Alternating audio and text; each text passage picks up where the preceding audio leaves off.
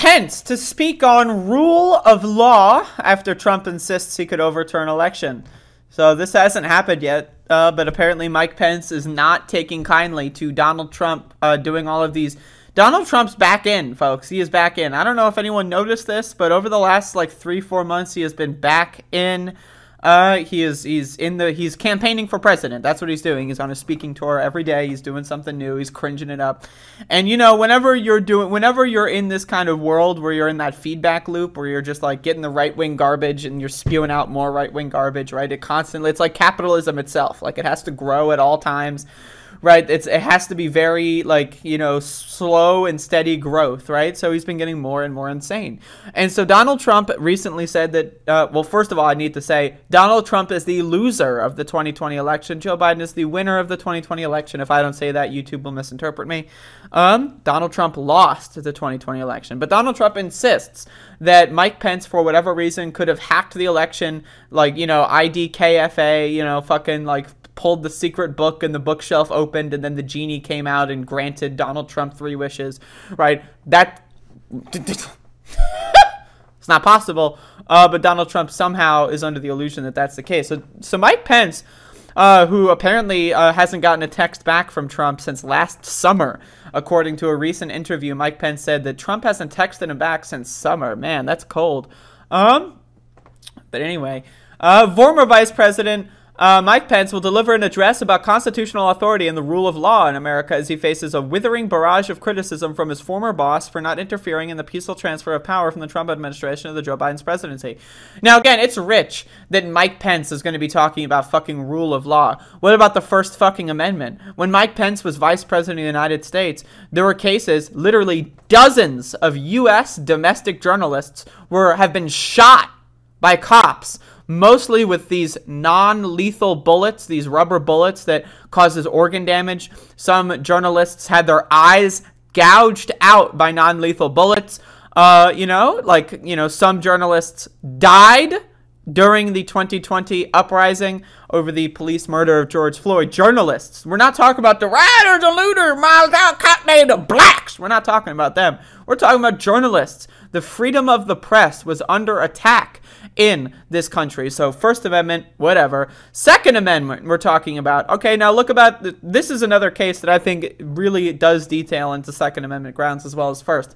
But there is a case. Uh, well, actually, this isn't. This doesn't relate to, to, to this happened in Biden. Never mind. Um, but anyway, so look at other amendments like the unreasonable search and seizure. Uh, Donald Trump, you know, was president when cops uh, engaged in civil asset forfeiture. Record levels of civil asset forfeiture. It's legalized theft by cop. They can basically steal whatever they want, and then if you want it back, you have to prove innocence.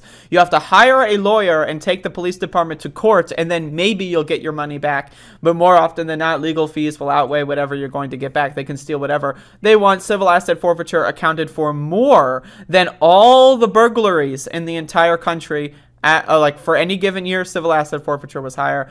Eighth Amendment, uh, unreasonable. Uh, uh, no, that's the that's uh, what's the other one? What's the Eighth Amendment? I'm high. Uh, the fucking killing people. Uh, the, the cruel and unusual punishment. That's right.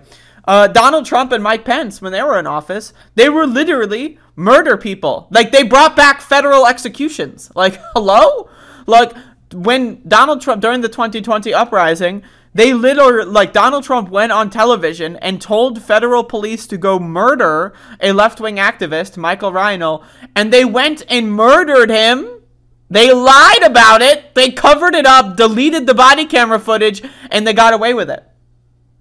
Isn't that isn't that a little bit cruel and unusual to like, you know, have the president of the United States? That's unusual, isn't it?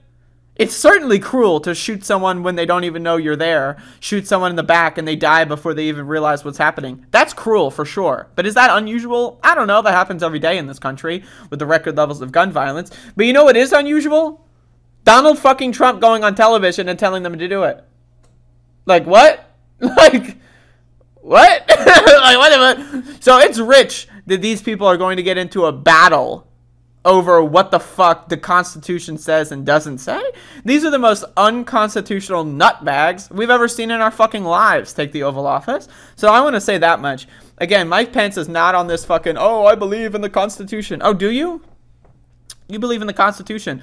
What about the 25th Amendment to the Constitution that says that if someone is unfit to be president, they should not be in office?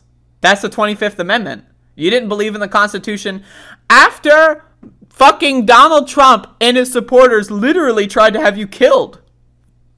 They were chanting, they built a gallows, and they were chanting, hang Mike Pence, as they stuffed into the Capitol looking for him.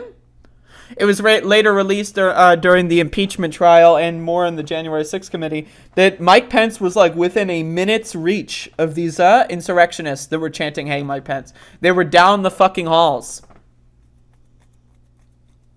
And even then, Mike Pence didn't care about the 25th Amendment. Whereas Mike Pence been on 14th Amendment Section 3 that says any politician uh, that gives aid or comfort to those engaging in insurrection are banned and expelled from office for the rest of their lives? Has he been going on statements, uh, you know, talking about how Donald Trump should be banned from running?